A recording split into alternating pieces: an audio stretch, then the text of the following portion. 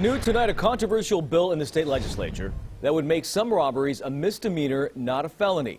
The bill would turn robberies under $950 that don't involve weapons or cause serious injuries into petty theft. The penalty, a max of one year in county jail, and offenders would qualify for a diversion program. The Yuba County DA's office slamming this proposal, calling it insanely irresponsible, and saying it would, quote, wreak havoc on our communities by allowing this violence to occur with barely a slap on the wrist.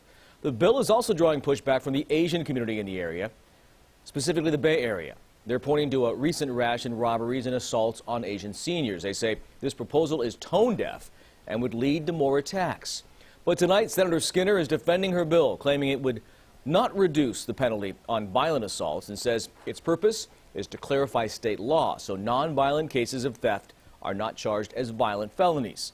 A committee hearing on the bill that's set for tomorrow.